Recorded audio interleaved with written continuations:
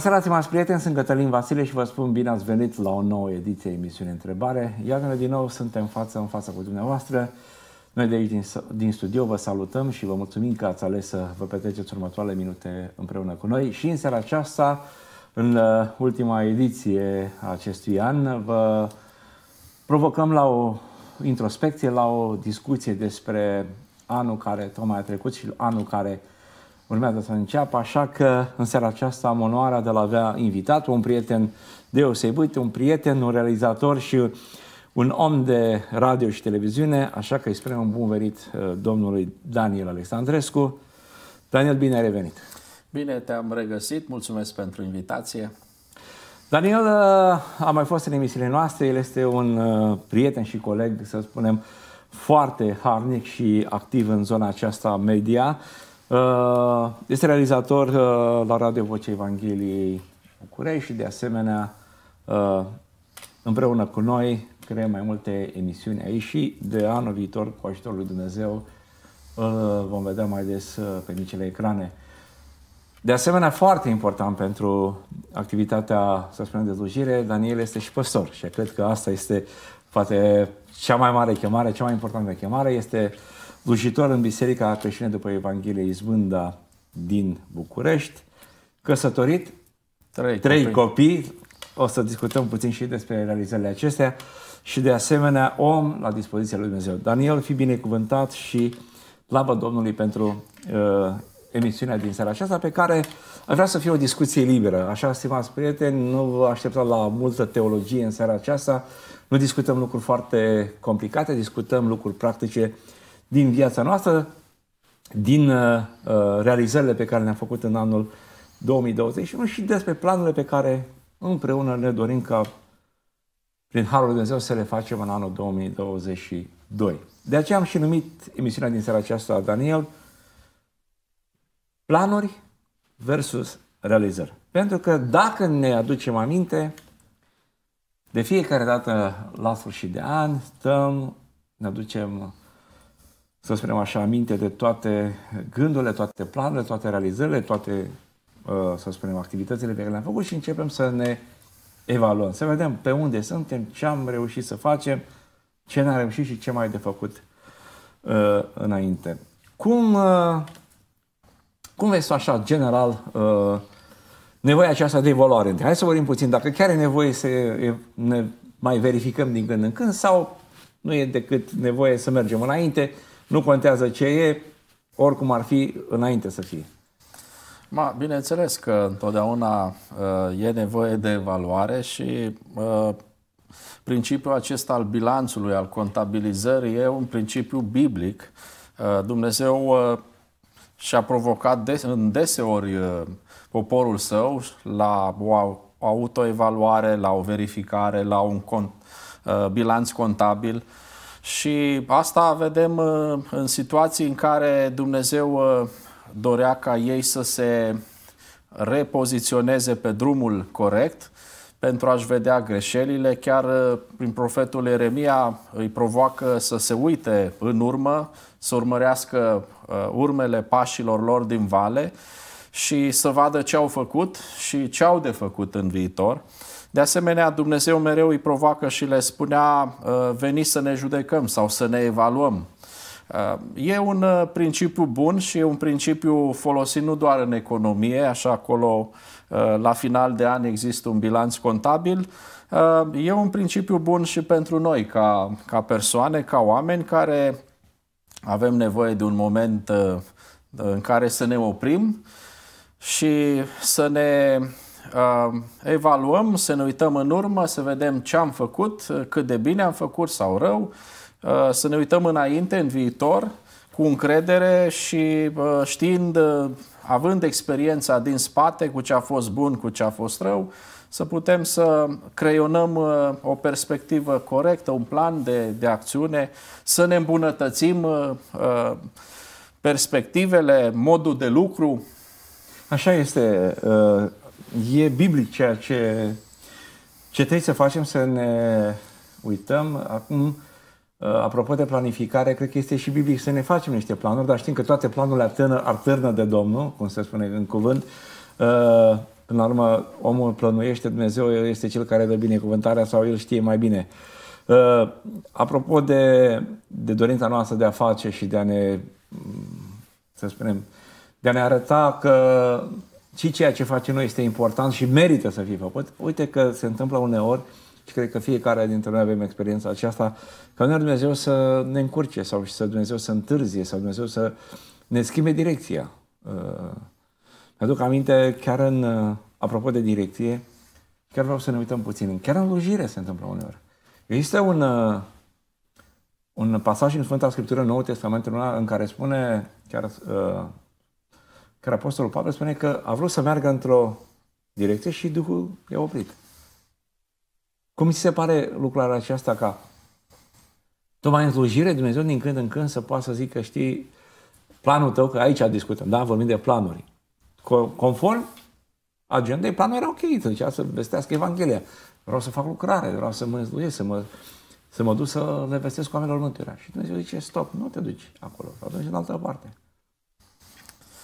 Da, noi uh, cunoaștem în parte și depindem de călăuzirea Duhului Sfânt uh, și a cuvântului uh, lui Dumnezeu. Asta nu înseamnă că dacă nu știm îndeajuns sau întru totul, nu trebuie să ne facem niciun plan. Noi trebuie să fim la dispoziția lui Dumnezeu și evident că trebuie să fim sensibili la călăuzirea lui Dumnezeu. Într-adevăr, acolo Apostolul Pavel uh, și-a făcut planurile, socotelile lui, însă uh, Dumnezeu prin Duhul Sfânt l-a direcționat uh, pentru că avea un plan mai bun și avea un alt uh, mod de lucru. Uh, noi uh, trăim în condiționați de timp și spațiu. Dumnezeu este atemporal și uh, lucrarea lui este una glorioasă, măreață. Noi avem o perspectivă limitată asupra lucrării și aici este foarte important să, să fim atenți la modul în care Dumnezeu ne călăuzește, prin cuvânt, prin oameni, prin Duhul Sfânt, uh, și să nu ne îmbufnăm sau să ne supărăm că nu ne ies planurile întru totul, și noi depindem, cum spuneai, uh, e acel pasaj din Iacov, dacă va voi Domnul, vom face cu tare sau cu tare lucru. Deci noi ne propunem, uh, căutăm călăuzirea lui Dumnezeu, binecuvântarea lui, dar uh, așteptăm răspunsul de la El și lumina care El ne-o dă. Timpul va dovedi, dacă suntem oameni credincioși la dispoziția lui Dumnezeu, că Uh, întotdeauna voia lui Dumnezeu e bună, plăcută și desăvârșită și toate lucrurile lucrează spre un bine. Chiar dacă la momentul respectiv noi nu înțelegem binele acela, uh, uitându-ne peste ani din față în urmă, vom înțelege cât de minunat a lucrat Dumnezeu, că ne-a direcționat în altă parte sau uh, ne-a oprit din o anumită activitate. El știe, El e suveran, El e în control. Așa este, slavă Domnului. Uh, e greu câteodată să înțelegem uh, lucrarea asta. Modul, modul acesta e... Ne cam dă toate socotele peste cap uneori și planurile noastre ar trebui să se sincronizeze cu planurile Dumnezeu, dar uite că uneori nu, nu înțelegem modul acesta. Uh, cuvântul Lui Dumnezeu ne știe foarte bine. Dumnezeu a vorbit foarte bine în cuvânt. Asta înseamnă, cred eu, am nu știu, uh, altă metodă este să fim foarte, uh, să spunem, axați pe cuvântul Lui Dumnezeu. Că pe acolo aflăm, de unde aflăm voia Lui Dumnezeu. Cuvânt, rugăciunea, clăuzirea aceasta pe care Dumnezeu o face și mai mult să înțelegem vremurile, că vremurile ai văzut cum au fost și încă sunt. Suntem, suntem într-un an de pandemie, deja al doilea an de pandemie, într-o situație destul de neplăcută și multe planuri ni s-au dat peste cap. Uh, planurile de slujire, planurile familiale, planurile de călătorie, planurile de dezvoltare, știu eu, de multe lucruri pe care noi le-am uh, propus, chiar, uh, cum să spun, unele excelent gândite, cu niște obiective mărețe, uite că planurile noastre sunt la dispoziția lui Dumnezeu. Hai să ne uităm puțin așa, Daniel, din punct de vedere al uh, spiritual, să vorbim așa să spunem. Cum vezi tu, o părere personală, lucrarea uh, de slujire, cum vezi tu oamenii, crezi că au fost mai sensibili anul acesta? Așa din ce știi tu, din ce ai văzut? Pentru că știu că tu În primul rând, ești în contact cu oamenii bisericii, cu credincioșii, ai de, de a face și știi multe probleme din acestea interne. De asemenea, ai avut multe emisiuni, ai înregistrat foarte multe, ai discutat cu mulți oameni, ai mai auzit și alte lucruri de la alții. Uh, cum mi se pare ție evoluția aceasta spirituală? Și ne uităm așa la mod individual, la poporul român, dacă uh, putem spune uh, cam cam crezi că e direcția? Suntem mai bine, suntem mai aproape de Dumnezeu. Vezi o apropiere mai mare, o sensibilitate mai mare, o căutare mai mare sau o delăsare? Că, na, și am și eu o părere aici. Da, sigur. Acum, în teorie, lucrurile arată bine, zice eu. Chiar acum, recent, s-a publicat a doua ediție a barometrului vieții religioase în România și cifrele arată frumos și bine, încântătoare. Românii în continuare se cred un popor creștin, religios. Problema e cu frecventarea locașurilor de închinare a bisericii, participarea la întâlnirile credincioșilor. Acolo procentele lasă de dorit. Și nu știu, am tot încercat să corelez cele două între a declara o identitate creștină și practică și frecventarea unei comunități de credință.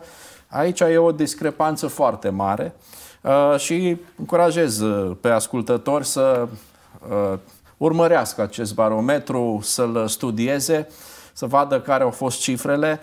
Însă, uitându-mă în interiorul uh, comunității uh, de credință locale în biserica în care slujesc.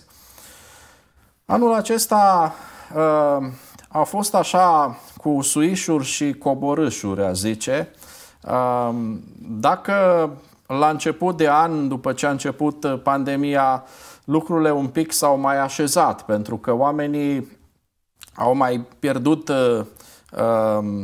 s-au mai obișnuit cu, cu virusul, au pierdut uh, acel sentiment de teamă, cel puțin pentru moment, și au început să se reașeze în, uh, în slujire, în activitățile interne, în biserică, să frecventeze întâlnirile, să se implice în lucrările.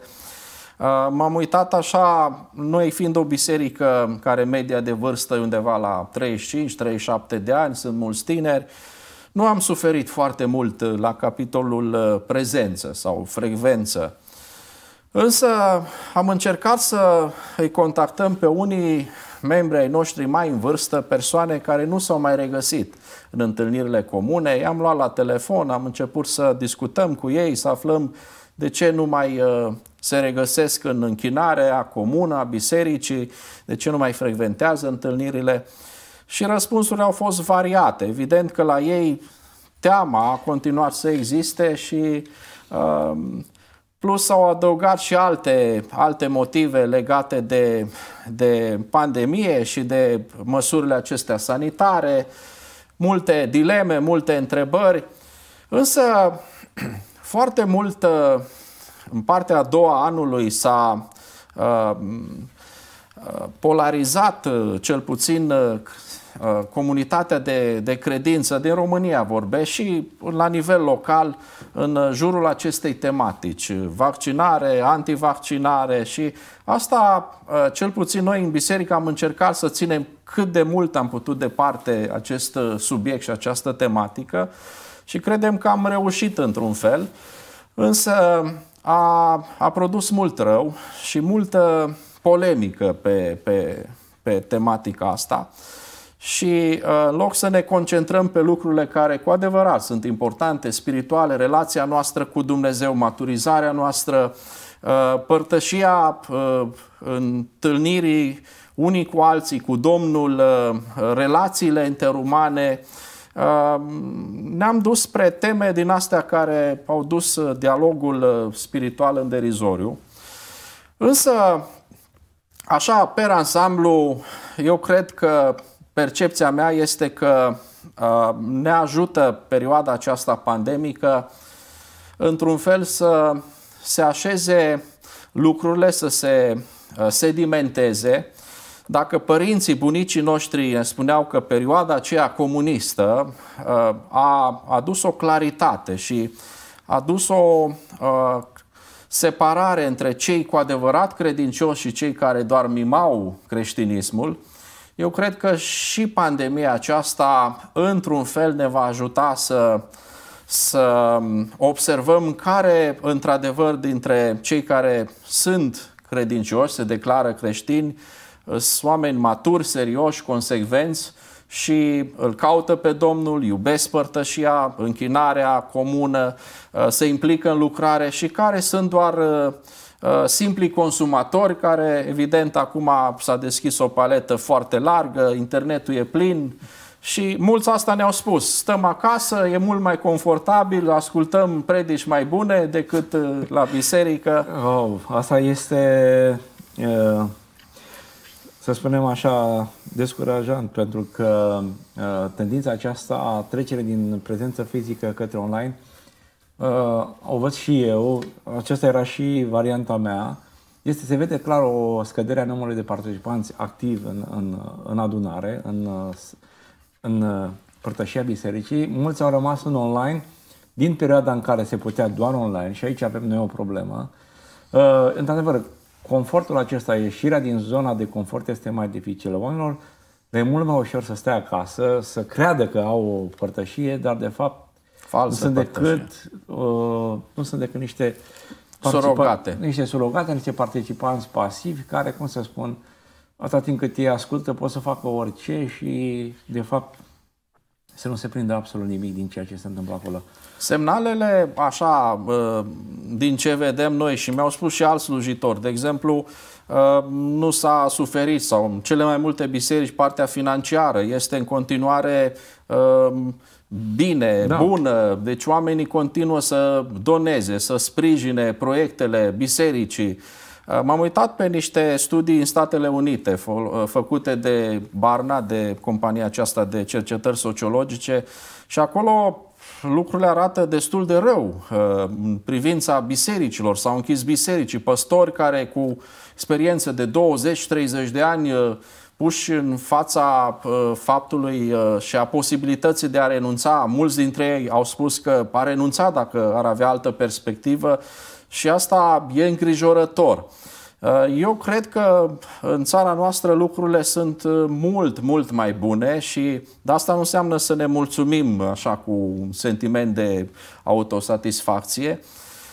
Este loc și de mai bine. E clar că s-a schimbat paradigma de credință și uh, întâlnirile și viața comunitară a credincioșilor nu va mai fi aceeași cum am avut-o noi înainte de pandemie. Asta e perspectiva mea și va trebui să ne adaptăm, va trebui să ne reorientăm, să venim în uh, ajutorul uh, comunității, a credincioșilor, să-i căutăm, să-i ajutăm, să-i sprijinim, în același timp să uh, le înțelegem nevoile, să lucrăm mai mult la partea aceasta interumană de la distanță, care nu e ușor. Așa este. Până la urmă, uh, întâlnirile acestea față în față, păstoriile aceasta efectivă, că până la urmă asta înseamnă păstorie, este dur să stai de vorbă, să înțelegi, să te pui în situația lui, să încerci să-l ajuți, să vezi ce se poate face, fără să-l pedepsești sau știu eu, fără să-l acuzi, că oricum teama aceasta cred că uh, este pretutindeni, o văd peste Generală, tot. da. Dar sunt oameni care n-au mai venit la biserică datorită fricii de a nu se îmbolnăvi. Da, da, Cătălin, la piață, în oraș, la magazin, la cumpărături, cu uh, rudele, se întâlnesc, merg, da? Deci atunci uh, am dus noțiunea aceasta de biserică și aici a contribuit foarte mult mass media. Din păcate, la începutul pandemiei, biserica e locul în care oamenii se infectează, sfocarele cele mai mari. Uh, anul acesta pentru tine a fost un an uh, full. Uh, ai lucrat, ai început de fapt din, de dinainte de 2020, dar anul acesta a fost un an plin. Ai avut foarte multe înregistrări la Radio Vocea Evangheliei, la noi la fel ai avut o activitate destul de bogată.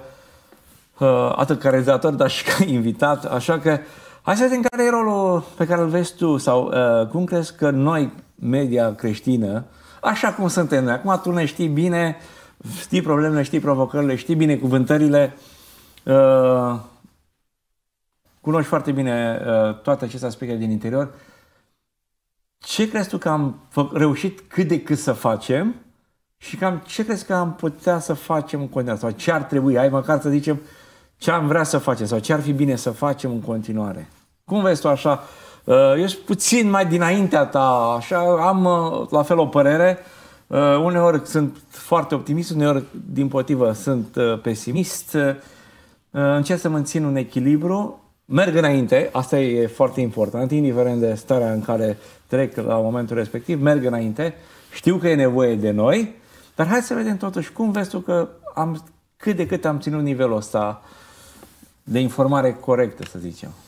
Eu o să-mi zic că perspectiva mea, din puțina mea experiență, apoi eu știu, vreau să află pe ta uh, în privința asta. Uh, eu în perioada aceasta am învățat să învăț. Uh, așa cum am mai spus și în alte ocazii, uh, pregătirea mea, chemarea mea n-a fost în direcția aceasta, uh, însă am înțeles, odată cu pandemia, mi s-au deschis și mie uși noi și vorbind de călăuzire, când m-ai întrebat la început, e și perspectiva aceasta una bună a ușilor închise, deschise și prin asta Dumnezeu ne, ne călăuzește și, bineînțeles, nevoia, oportunitățile uh, am intrat în lucrare dintr-o nevoie stringentă, urgentă. Asta a fost, că întotdeauna, ca și mine, n-am face nici acum asta dacă n-ar fi fost nevoie, clar. Și uh, am fost conștient încă de la început, uh, având și experiența aceasta eclezială și uh, a slujirii în biserică, uh, totdeauna mi-am propus să nu mut uh, sau să transfer amvonul de la biserică în lucrarea media. Uh, asta mi-am propus și Uh, nu știu în ce măsură am reușit uh, și aici mă refer la discurs, mă refer la abordarea subiectelor, mă refer la uh, atitudine, pentru că avem anumite tipare în biserică pe care noi ni le acceptăm unii altora, ne-am obișnuit cu ele, însă în spațiul public, în spațiul media, e nevoie de o perspectivă creștină echilibrată, o perspectivă de a aduce mesajul lui Dumnezeu, Evanghelia, la un public uh, care nu este obișnuit cu um, uh, comunitatea de credincioși, cu obiceiurile noastre. Cu limbajul chiar. Cu limbajul nostru, corect.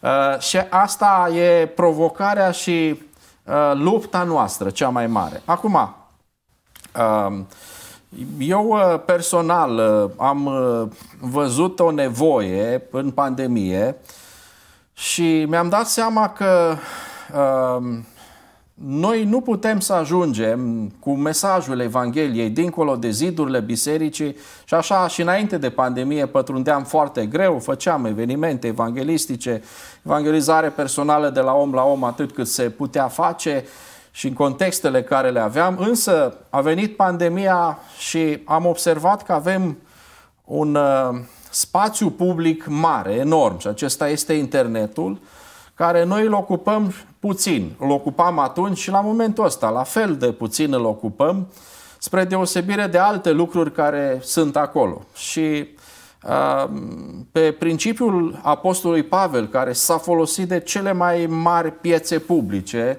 de aeropaguri, de stadioanele acelor vremuri, uh, în care el a expus mesajul evanghelic, eu cred că Astăzi internetul este spațiul acesta și noi creștini trebuie să-l folosim. Am, e adevărat, trebuie să-l folosim cu înțelepciune. Problema care o văd eu este că noi a, nu suntem încă pregătiți, nu avem instrumentele, experiența necesară. Apoi, a, frații noștri de credință nu înțeleg unii dintre ei, ca să nu generalizăm, importanța, urgența folosirii unui astfel de instrument. Da, suntem obișnuiți cu radio, asta e un instrument vechi de ceva ani, ne-am obișnuit cu mesajul lui Dumnezeu pe calea undelor, însă pe internet încă mulți sunt reticenți uh, a apărea, a transmite un mesaj, dar aici noi avem o oportunitate extraordinară. Oameni care n-ar păși sau nu vor păși niciodată într-o biserică locală sau la un eveniment evanghelistic, vecini de-ai noștri și am experiența uh, celor din familia mea extinsă care nu sunt credincioși uh, evanghelici. Sunt credincioși uh, uh ortodoxi, sunt credincioși în stilul acesta comun religiei majoritare și uh, cu ocazia aceasta am putut să, uh, și aici nu vreau să mă laud, am putut să ajung la unii dintre ei și chiar ei să urmărească și au devenit uh, urmăritori fideli ai multor materiale de ale mele și asta m-a surprins. M-a surprins că nu credincioșii din biserică, frații mei, au fost cei care au, de cele mai multe ori au distribuit materiale, ci cei care, la care nu m-am așteptat, care nu sunt credincioși de-ai noștri din bisericile locale, ci prieteni, cunoscuți, colegi, vecini, care uh, au avut posibilitatea să vadă ce mesaj transmitem, cum abordăm noi Scriptura, cum o înțelegem, cum abordăm anumite subiecte ale zilei, pentru că aici e bătălia, ca noi să avem un răspuns la provocările societății noastre. La probleme curente, practic, uh, uh, și asta este și viziunea mea, Daniel. Suntem cu toți în lumea aceasta, și credincioși și necredincioși, și trecem prin aceleași probleme, aceleași provocări. Diferența dintre noi credincioși și restul lumii este modul de raportare. Pentru că noi întotdeauna uităm în Sfânta Scriptură și vedem ce spune Biblia. Este contemporană, este la zi, da? se poate trăi din învățăturile Sfintei Scripturi și astăzi, în secolul 21, numai că noi trebuie să ne înțelegem, așa cum fiii lui Sahar spunea, înțelegeau vremurile. vremurile. E, aici este secretul și uite că Dumnezeu se folosește și de noi, ne să profesioniști, să zicem, oameni care învățăm mergând în direcția aceasta, dar uh, cred că asta este foarte important ca să avem întotdeauna un răspuns. Să ajutăm că până la urmă am zice că tu citești Sfânta Scriptură, te uiți la ce se întâmplă și ai o părere, tu cu familia ta, cu biserica ta, dar totuși să iei mesajul ăsta pe care tu l-ai înțeles, Dumnezeu te-a călăuzit și să cum să-i ajuți și pe ceilalți. Și aici este, cred că, misiunea noastră. E chemarea aceasta de ai ceva pe care Dumnezeu ți l-a pus bun și vrei să-i ajuți pe frate, uite, facem asta și o dăm mai departe. Atunci mergem pe unde radio, mergem pe internet.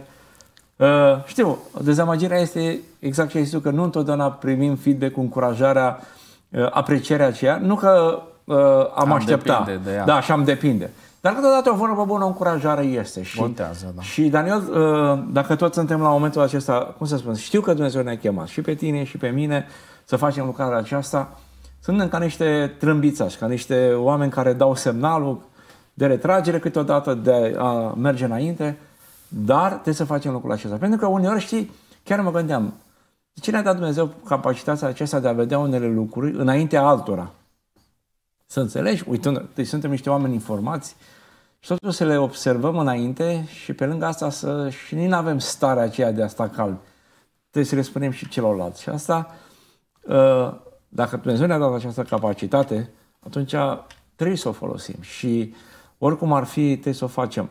Media este importantă, eu așa consider că trebuie să o facem și oamenii, frații noștri, în primul rând, au nevoie de, de ceea ce facem noi. Da, eu acum aici uh, aș vrea să fac o subliniere. Am fost doar un facilitator și ceea ce mi-am propus a fost ca, așa cum spuneai, uh, să facilitez uh, prin aceste emisiuni materiale care le-am realizat posibilitatea ca uh, alți frați pregătiți, alți oameni călăuziți, hăruiți de Dumnezeu, uh, să uh, aibă posibilitatea să transmită un mesaj actual al zilei, o perspectivă biblică pe un subiect. Eu doar am uh, creat cadrul de discuție. Asta este, că și să faci lucrul acesta e un lucru extraordinar, să știi cum să pui întrebările, cum să-i asculți pe oameni, să-i duci în direcția uh, astfel încât ei să dea tot ce au mai bun din ei, că uh, și noi încercăm și tu faci lucrul la fel, uh, la fel să aduci cei mai buni invitați, cei mai uh, uh, pregătiți în domeniul despre care se discută la respectiva emisiune și să le ofer, să spunem așa cum spunem, mingea la fileu, astfel încât să livreze exact ceea ce trebuie pentru binele folosul nostru al tuturor. Acum eu am spus că nu depindem de, contează, e adevărat, uh, încurajare, nu depindem nici de numărul de uh, like-uri, de distribuiri, uh, deși din punct de vedere omenește e descurajant când muncești și asta nu e o lucrare ușoară să o pregătești, să ai întâlnire cu invitații, să pregătești cadrul de discuție, să te documentezi, să uh, apoi partea tehnică, finalizarea, editarea, montajul. E o întreagă muncă în spatele scenei și când materialul este final, nu toate sunt de 10, vorbim omenește, dar uh, de 9, 8, 7, măcar astea care sunt uh, bine reușite să nu fie promovate, distribuite mai departe, asta e durere, dar uh, eu am învățat că, așa cum spunea Apostolul Pavel, tot ce facem să facem ca pentru Domnul și nu ca pentru oameni. Și dacă am liniștea aceasta că mi-am dat aportul și contribuția atât cât am putut să fac cel mai bine și că pot dormi liniștit noaptea, asta cel mai important lucru, că am fost la dispoziția lui Dumnezeu și mai departe El va folosi acele materiale cum va dori, spre slava Lui, chiar dacă, eu știu, vor fi un număr mic de vizualizări, dar poate în acel număr mic uh, vor fi oameni care vor fi atinși de un anumit subiect, de un mesaj al Evangheliei, ceva care îi va provoca, cerceta. Vom fi surprinși în ziua veșniciei când uh, unii poate, nu știu, dintr-o emisiune vor lua ceva, o provocare, o întrebare, ceva care i-a determinat să se cerceteze. Și asta e rugăciunea mea ca, ca Dumnezeu să, să folosească materialele acestea spre slava Lui. Slavă Domnului! Slavă Domnului! Asta, asta vom face, să ne ajute Domnul să facem uh, lucrul acesta. Amin. Uh, hai să vorbim puțin și despre anul care urmează. Suntem într-o situație, călătoresc în perioada aceasta și uh, sunt surprins să văd peste tot o stare de neliniște, o stare de uh, dezgust total față de viață, față de condiții, față de ce oferă viitorul. Uh, o tensiune maximă împotriva guvernanților. Nu contează de țara în care ești. E o, o stare generală. Uh, o teamă, pe de altă parte, că va fi mai rău. Uh, prețul la energie a crescut. Uh, Uh, totul este dat peste cap. Oameni care se plâng, oameni pe care îi vezi apăsați. Uh, tensiunea crește inclusiv în familii. Uh, dacă ne uităm și la noi, neînțelegere, lipsa banilor. Pandemia aceasta ne-a afectat în totul, ca să zic așa. Ne-a dat totul peste cap. Bineînțeles, totul e cu știrea și cu voia lui Dumnezeu. Știm lucrul acesta, nu mai discutăm. Acum, Daniel, uitându-ne și la ce spune Sfânta Scriptură și la ce ne dorim noi, așa, și din punct de vedere spiritual, și din punct de vedere al vieții noastre familiale, da? Dumnezeu te-a binecuvântat în anul acesta cu un copilaș, slavă Domnului și uh, să fii sănătoși, să rămâneți în slujire pentru Domnul cu toată casa ta. Uh, dar, totuși, hai să ne gândim puțin, oricum am fi, trebuie să ne gândim totuși la niște planuri, la niște dorințe măcar, le punem într-adevăr înaintea lui Dumnezeu, dar haideți să ne... Ce crezi tu că uh, Rămâne totuși pandemia cea mai mare provocare pentru anul următor, boala asta care încă mai seceră oameni, uh, dar știu eu ce alte planuri ai, ți-ar fi ți-ar plăcea să le, să le vezi îndeplinite. Știu eu, poate o biserică mai numeroasă sau știu eu, mai multe emisiuni, mai mulți colegi în, în Nu știu, Uh, știi cum, suntem la, acum suntem la capitolul dorințe. O să le spun și eu pe ale mele. Așa că haideți să ne, să ne gândim și uh, Dumnezeu ne ascultă oricum, știe și El dispune. Noi doar trebuie să le cerem de la El și El să facă mai departe. Așa este, cum uh, spuneai, deși eu nu călătoresc așa de mult uh, sau nu mai pot așa călători cum am călătorit uh, altă dată, se resimte o tensiune și o nesiguranță și viitorul acesta sumbru uh, ne, ne macină și ne, ne închide orizontul. Însă, noi uh, creștinii uh, știm care va fi finalul. Dumnezeu ne-a lăsat în Scriptură și în cărțile acestea apocaliptice, profetice, noi știm modul în care Dumnezeu va conduce istoria aceasta spre un final glorios. Mai știm că uh, lucrurile vor merge din rău mai rău și asta știm din Scriptură. Nu putem noi să schimbăm istoria, că asta e mersul. Știm că asta e direcția? Da. Uh, e un semnal că uh, pașii Domnului se aud, sunt tot mai aproape de noi. Apostazia, observăm că Europa aceasta vestică și vine încet încet și spre noi secularismul și ateismul și Uh, liberalizarea, libertinismul uh, și liberalizarea credinței, toate acestea își vor pune amprenta, relativizarea, totul e relativ, nu mai avem adevăruri absolute. Toate astea ne, ne creează un disconfort și e adevărat că lumea noastră, eu observ așa, nu doar că e tensionată și a pierdut răbdarea cu guvernanții, cum spuneai tu, cu um, funcționarii, cu cei din jurul lor, cu cei din familie. Suntem din ce în ce mai nervoși, mai supărați pe viață, pe, pe trai, pe tot.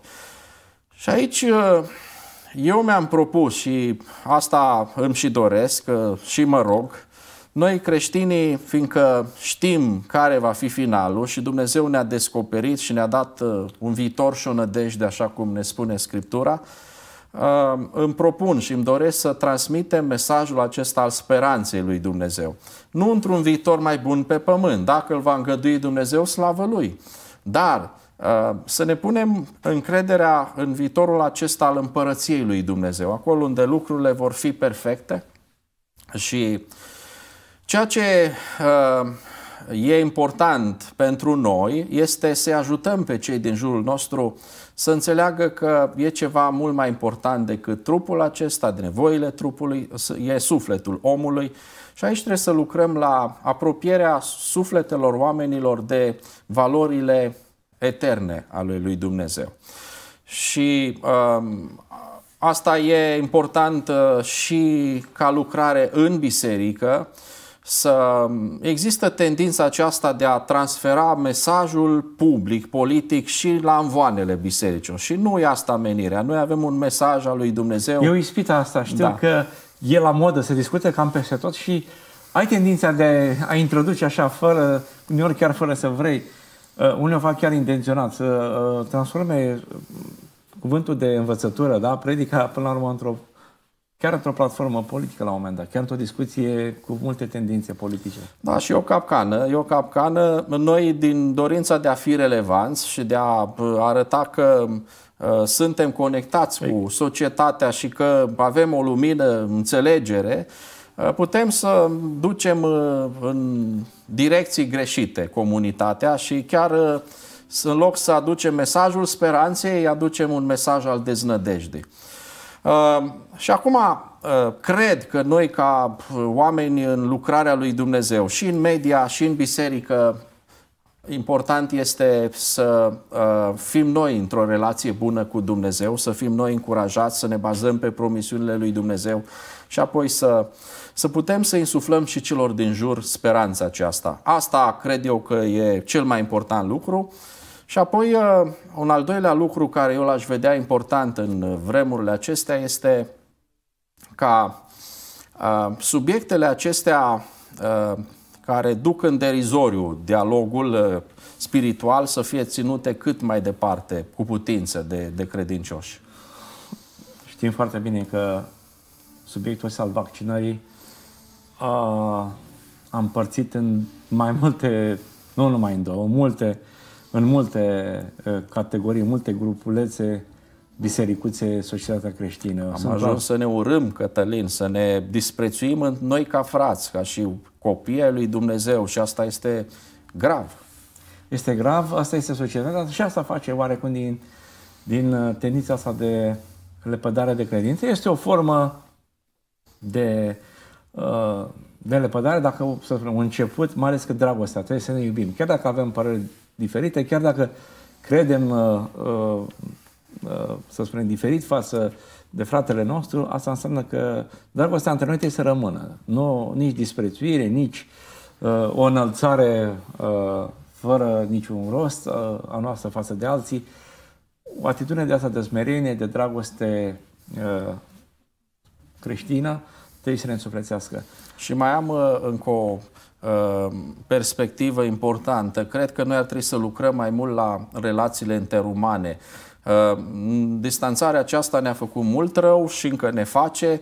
Uh, ne-am, nu ne-am fi așteptat noi ca pandemia să dureze atât de mult, nu aveam atâtea informații. Acum se vede că nu vom scăpa așa de ușor de ea și va trebui să ne obișnuim să ne adaptăm ei dar în același timp să nu uh, pierdem din vedere uh, realitatea trupului Hristos. Trupul lui Hristos uh, nu poate ființa, exista decât împreună. Uh, trebuie să existe acea coeziune între credincioși E adevărat, cu păstrarea măsurilor de uh, igienă, sanitare, cu putință, respectăm tot ceea ce trebuie respectat, însă trebuie să ajutăm pe frații noștri, pe cei din biserică, să înțeleagă faptul că avem nevoie unii de alții. Imaginea aceea a focului, dacă iei un cărbune din foc, el va arde un pic, o vreme, după aceea se va stinge. Dacă îl vei pune din nou în foc, se va aprinde și flacăra va fi puternică. Noi nu putem, e conceptul acesta în Biblie, unii pentru alții, unii cu alții. Ehm, pandemia aceasta, așa cum spuneam, ne-a, ne-a făcut comozi, ne-a distanțat și asta uh, ne-a înstrăinat nu doar unii de alții, și de Dumnezeu. Pentru că dacă noi nu suntem împreună, nici relația noastră cu Dumnezeu nu este aceea la cotele care trebuie să existe. Daniel, acum o întrebare așa uh, mai dificilă.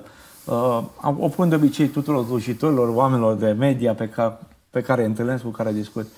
Uh, modul în care este prezentat uh, realitatea, tot ce se întâmplă în jurul nostru, uh, ce s-a întâmplat în anul 2021, chiar în 2020, ce se prevede că se va întâmpla și la anul, că na, pronosticurile nu sunt foarte optimiste, uh, dau senzația că la un moment dat Dumnezeu a pierdut controlul Universului sau că Dumnezeu nu mai este cu mâna pe pământ.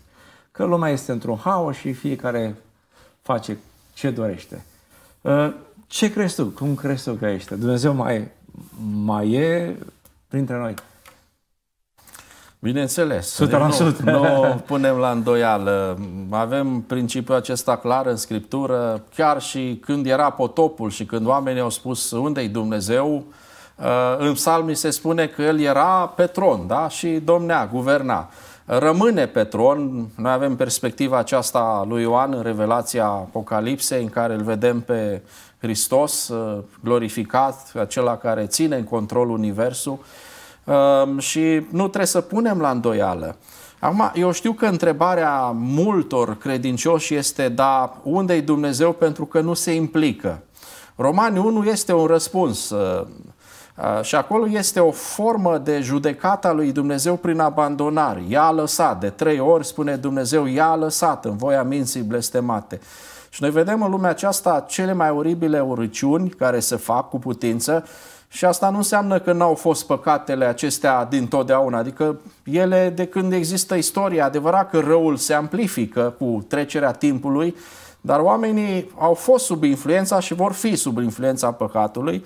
Însă uh, nelegiuirea va crește la cote alarmante și faptul că uh, ea își vede un curs și uh, Dumnezeu spune prin Apostolul Pavel în Romani 1 că i-a lăsat în acele comportamente păcătoase ca o formă de manifestare a judecății sale prin abandonare. Dar asta pentru un timp, Uh, limitat, pentru că va fi o zi în care Dumnezeu își va manifesta plenar judecata.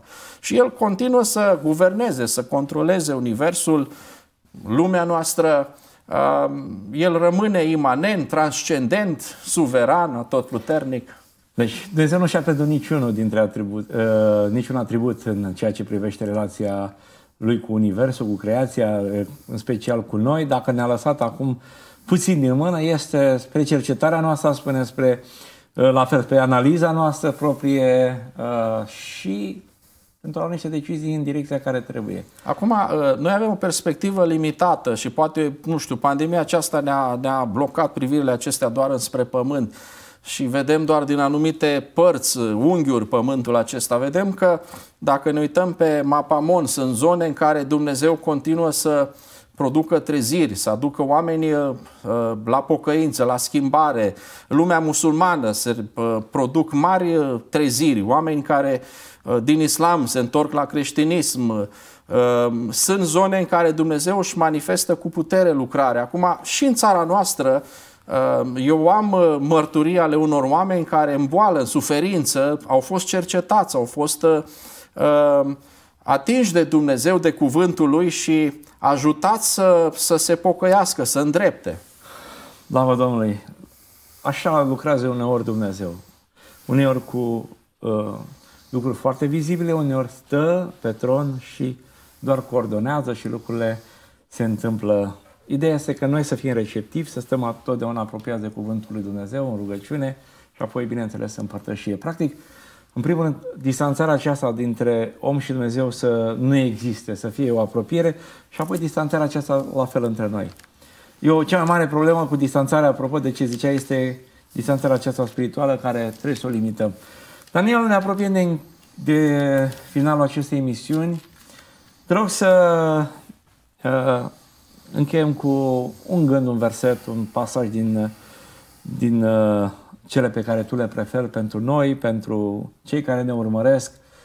Uh, o încurajare, un gând de final de an. Uh, așteptăm cu bucurie și noi de asemenea ne rugăm ca Dumnezeu să binecuvânteze lucrarea pe care o faci, familia, uh, lucrarea de la Radio Vocea Evangheliei, special de la biserică și Paștelor Domnului rămâne la dispoziția lui în continuare. Da, mulțumesc.